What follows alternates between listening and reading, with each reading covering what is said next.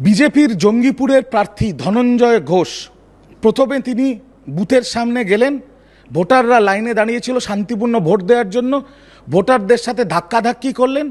একটা ভোটারের গায়ে হাত তুললেন। তারপর সিআরপিএফ সাথে নিয়ে গিয়ে ভোটারদের ধমকাচ্ছেন, চমকাচ্ছেন, যাতে ভোট পর্ব নষ্ট করে দেওয়া যায়।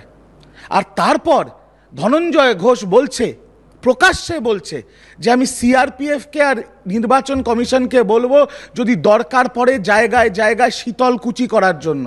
আপনাদের মনে করিয়ে দিই দু একুশ সালে এই শীতলকুচিতে সিআরপিএফ নিরীহ মানুষদের ওপর গুলি চালিয়ে চারজন মানুষকে হত্যা করেছিল।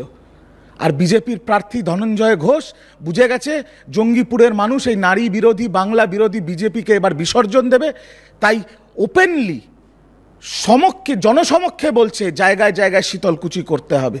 সিআরপিএফকে উস্কানি দিচ্ছে। আমি ধিক্কার জানাই এই ধনঞ্জয় ঘোষের এই নোংরা মন্তব্যকে।